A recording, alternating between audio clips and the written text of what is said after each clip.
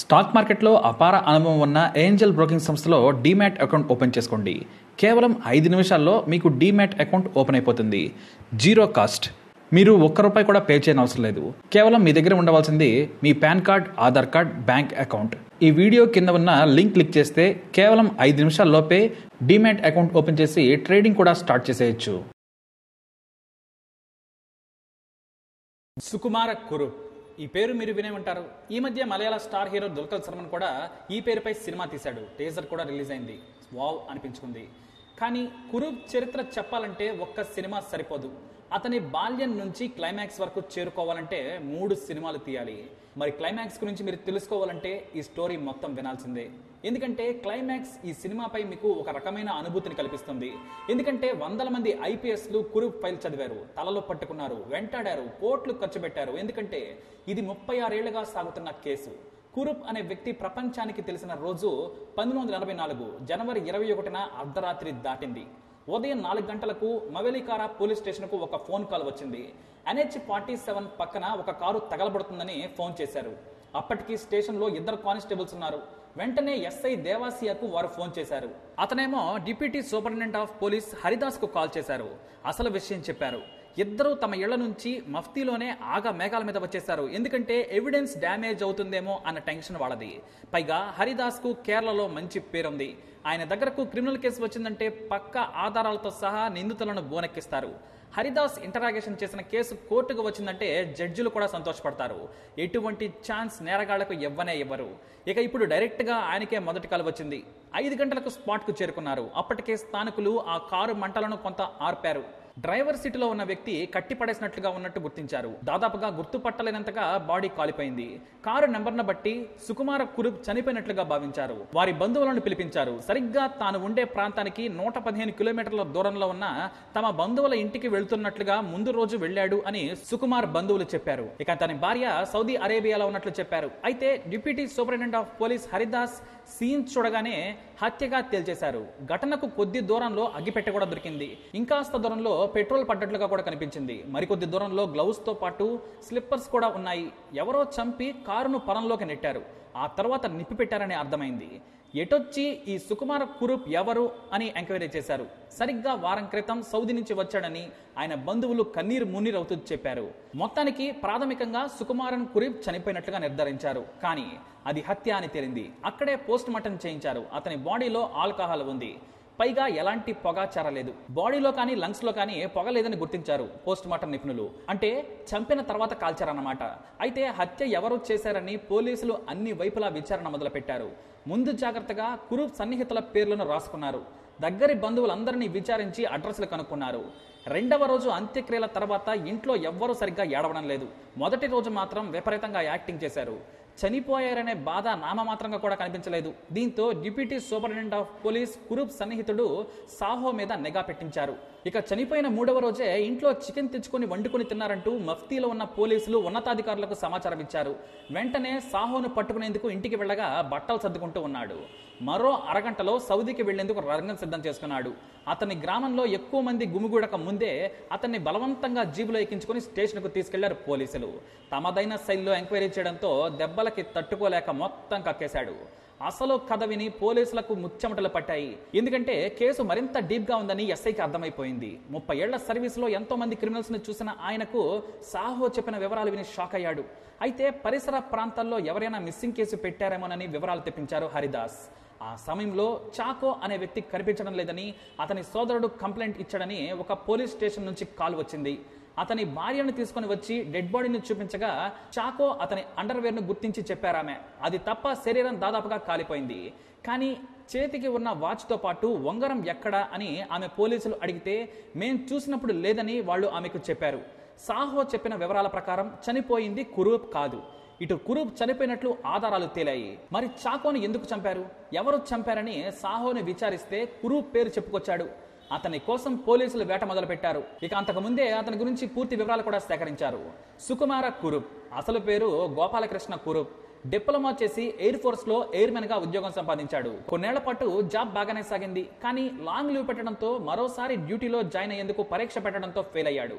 దీంతో అతని మీద వదిలేసిన వ్యక్తిగా ఎయిర్ ఫోర్స్ అధికారులు ప్రకటించి అతని మీద ఎంక్వైరీ వేశారు. ఏమైనా కుట్రతో ఇలా చేశాడా అనేది లోతైన విచారణ చేయాలని నిర్ణయించారు. దీంతో ఆయన ఎటు వెళ్ళడానికి కానీ విదేశాలకు వెళ్ళడానికి కానీ వీలు లేకుండా పోయింది. దీంతో గోపాలకృష్ణ కురుప్ చనిపోయినట్లుగా సీన్ క్రియేట్ చేసి తన కుటుంబ సభ్యుల ద్వారా సమాచారం అందించాడు.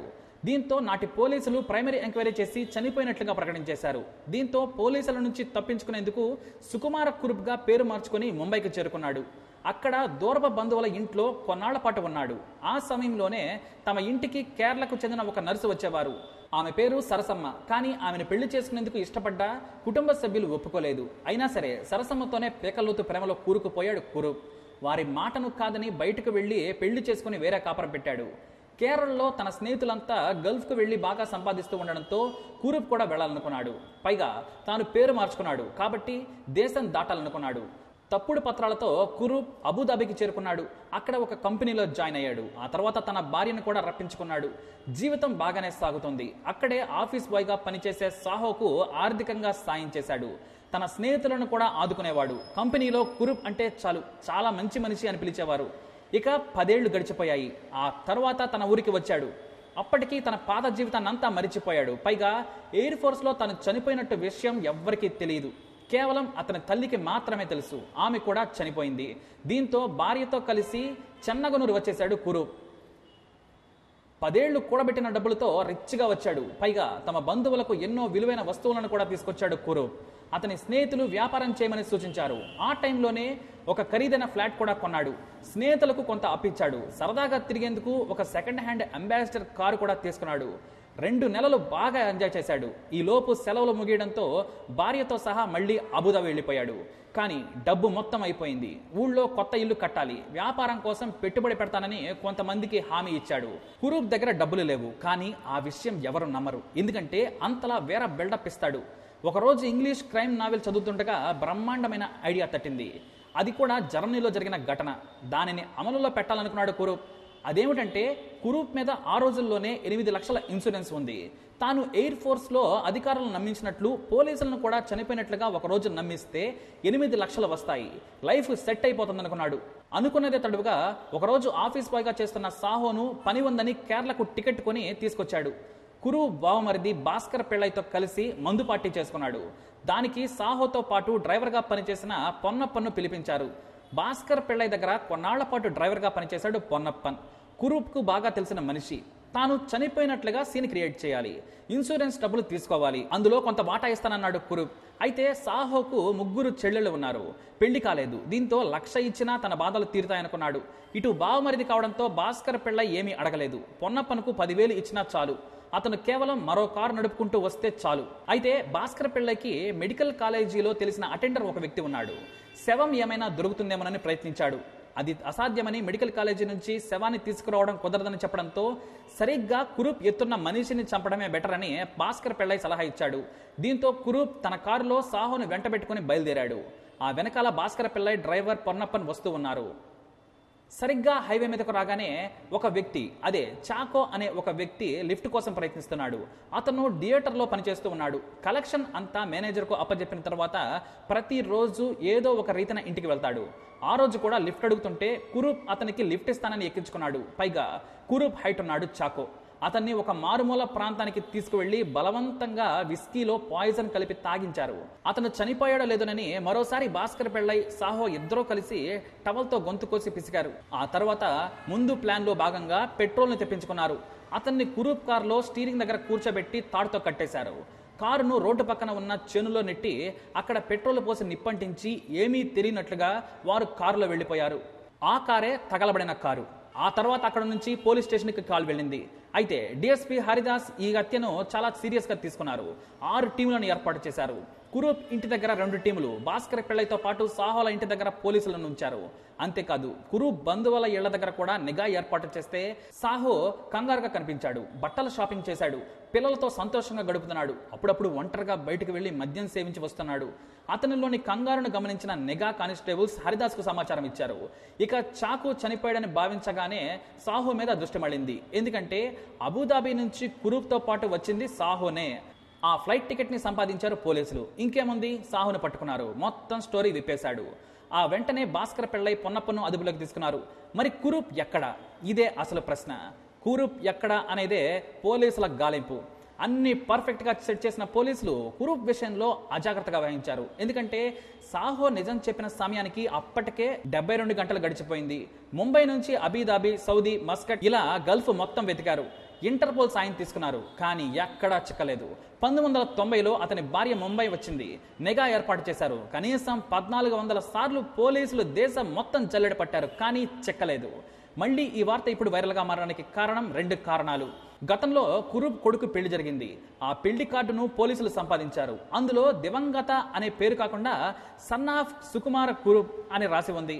అదే పెళ్ళికి పద్నాలుగేళ్ళ జైలు శిక్ష అనుభవించి బయటకు వచ్చిన మేనమామ భాస్కర్ పెళ్ళై కూడా వచ్చాడు. అదే కేసులో ఆరేళ్ళ జైలు శిక్ష అనుభవించిన పొన్నప్పను కూడా వచ్చాడు. కానీ కురూప్ మాత్రం కనిపించలేదు. పోలీసులు గత మూడేళ్ళ నుంచి వారి ఫోన్ కాల్స్ పై నిఘా పెడుతూనే ఉన్నారు. అయినా సరే ఆచూకీ కూడా దొరకలేదు. సుకుమార కురు బ్రతికే ఉన్నాడని ఎనభై ఒక్క ఏళ్ళ నాటి ఇన్వెస్టిగేషన్ ఆఫీసర్ హరిదాస్ కూడా చెప్పారు. ఇక రిటైర్ అయిన ఎస్ఐ దేవాసయ్య కూడా ఆ కేసు గురించి చెప్తుండగానే చాలా గిల్టీగా ఫీల్ అయ్యారు. తాము చేసిన చిన్న తప్పే కురూప్ తప్పించుకునేలా చేసిందంటారు. ఇప్పటికీ అతని భార్య గల్ఫ్కు వెళ్ళి వస్తూ ఉంటుంది. అంటే అతను ఇంకా బ్రతికే ఉన్నాడు అని అర్థం. ఫైనాన్షియల్గా కూడా బలపడ్డాడు కురూప్. అయినా సరే ముప్పై ఆరేళ్ళైనా సరే కురూప్ మాత్రం దొరకకుండా పారిపోయాడు. ఈ కేసు మీద ఆ రోజుల్లోనే ఎన్హెచ్ ఫార్టీ సెవెన్ అనే సినిమా కూడా వచ్చింది. ఇప్పుడు కురు పేరుతో డుల్కల్ సల్మాన్ సినిమానే తీశాడు. ఆ టీజర్ కూడా సూపర్ హిట్ అయింది. అయితే హంతకుడిని హీరోగా చూపిస్తారా అంటూ హత్యకు గురైన చాకో కొడుకు కోర్టుకు వెళ్ళాడు. ఆ సినిమాను ఆపాలని కోర్టును కూడా ఆశ్రయిస్తూ ఉన్నాడు. ఏది ఏమైనా కురు ఇక దొరకడు అనేది మాత్రం సత్యంలా కనిపిస్తుంది. ముప్పై ఆరేళ్ళుగా కొన్ని కోట్లు ఖర్చు పెట్టి వందల మంది పోలీసులు వెతికినా సరే సుకుమార కురూప్ దొరకలేదు. మరి కురూప్ ఎక్కడ అనే విషయం అతనికి తప్ప ఇంకెవరికి తెలియదా అనేదే ఈ క్లైమాక్స్. మరి సుకుమార్ గ్రూప్పై పై మీరేమంటారు అనే మీ అభిప్రాయాన్ని తప్పకుండా కమెంట్ ద్వారా వ్యక్తించండి వీడియోని లైక్ చేయండి షేర్ చేయండి మా ఛానల్ని సబ్స్క్రైబ్ చేసుకోండి. స్టాక్ మార్కెట్లో అపార అనుభవం ఉన్న ఏంజల్ బ్రోకింగ్ సంస్థలో డీమ్యాట్ అకౌంట్ ఓపెన్ చేసుకోండి. కేవలం ఐదు నిమిషాల్లో మీకు డీమ్యాట్ అకౌంట్ ఓపెన్ అయిపోతుంది. Zero cost. మీరు ఒక్క రూపాయి కూడా పే చేయని అవసరం లేదు. కేవలం మీ దగ్గర ఉండవలసింది మీ pan card Aadhaar card bank account. ఈ వీడియో కింద ఉన్న లింక్ క్లిక్ చేస్తే కేవలం ఐదు నిమిషాల్లోపే డీమ్యాట్ అకౌంట్ ఓపెన్ చేసి ట్రేడింగ్ కూడా స్టార్ట్ చేసేయచ్చు.